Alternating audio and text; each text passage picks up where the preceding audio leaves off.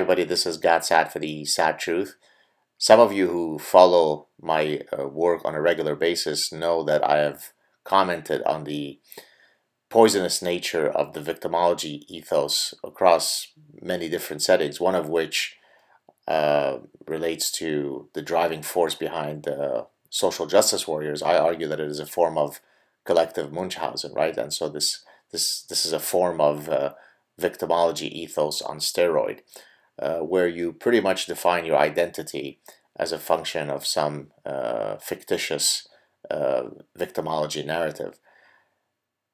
Now, of course, the people who uh, adhere to this type of uh, mindset are typically those who also believe that to the extent that people end up with different final outcomes, it can't be due to the fact that there might be inherent differences across people in terms of their talents, their abilities, their motives, their ambitions, their drives, but rather it must be due to some institutionalized uh, injustice or to some uh, narrative of victimology, right? It must be that you suffer from some disorder, and that's what led you to not perform as well as Lionel Messi when he plays for Barcelona and for Argentina.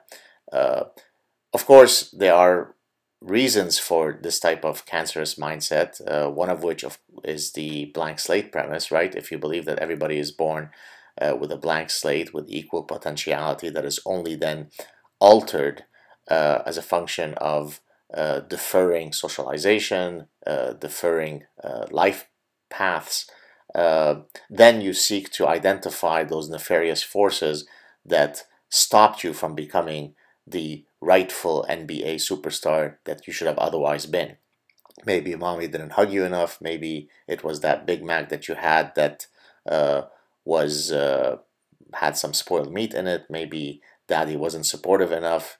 Uh, who knows? There might be all sorts of socialization reasons that didn't uh, lead to you being the rightful uh, heir to Michael Jordan.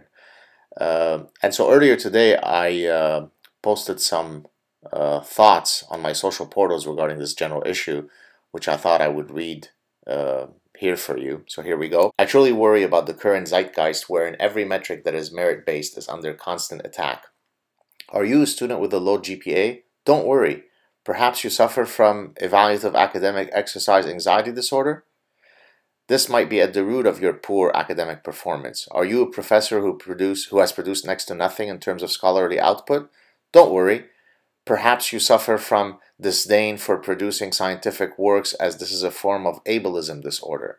Every possible reality that might yield differences of outcomes across people should apparently never be construed as a result of natural variations in people's abilities, drives, motives, and ambitions. Instead, it must be due to an injustice levied against you and or because of a quote disorder that did not allow you to maximally flourish.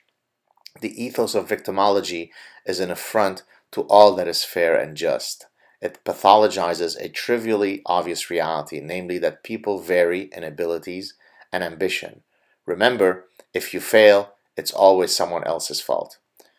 I'll be sure to add this angle in my forthcoming book as one of many forces that is slowly but perhaps irrevocably damaging our culture.